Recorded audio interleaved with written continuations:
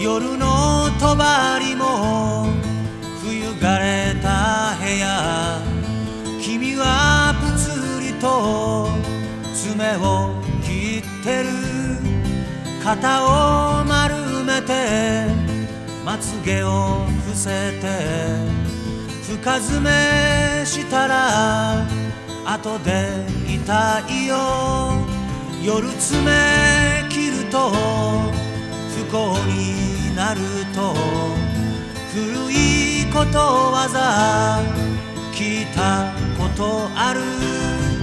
昔女は身を守るため爪を伸ばしていたんだってね。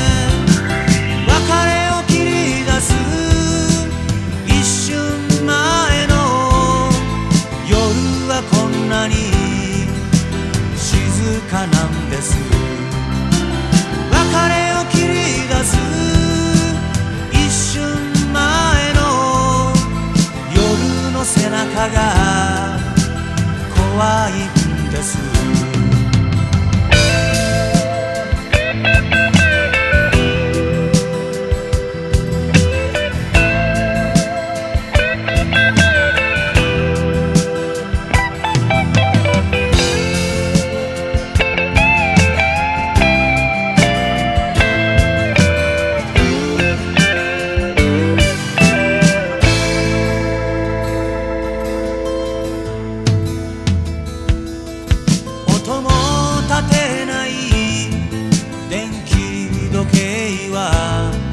分かっていないに時を刻んで狂いもしない時計みたいに。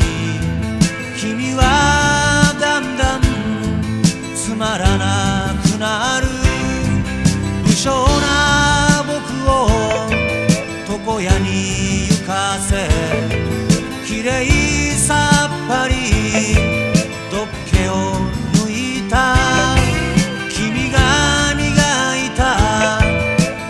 你看